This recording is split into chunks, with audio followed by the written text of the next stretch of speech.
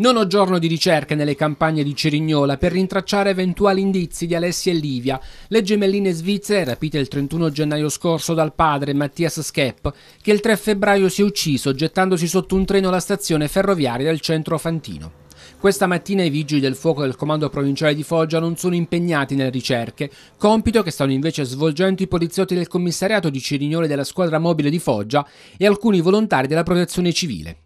Oltre a individuare eventuali tracce della presenza delle gemelle, gli investigatori stanno cercando di capire che fine possa aver fatto il navigatore satellitare che l'uomo aveva con sé.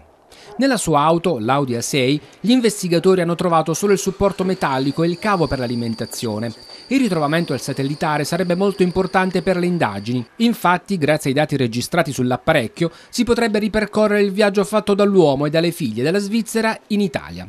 Intanto, nelle prossime ore si svolgerà un vertice tra gli inquirenti per fare il punto della situazione e soprattutto per organizzare il lavoro dei prossimi giorni. Dottore, a che punto sono le ricerche e le indagini sulla scomparsa delle gemelline?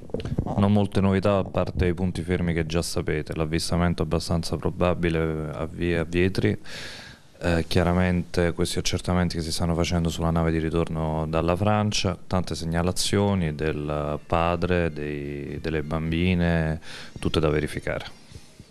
Adesso le ricerche si sono fermate nelle campagne di Cerignola, state facendo altri tipi di indagini? Non si sono fermate le ricerche, continuano più specificamente in determinati punti ritenuti di, di interesse. In ogni caso l'attività investigativa continua principalmente qui da Foggia per verificare tutti gli spostamenti del padre prima di quel tragico tre sera.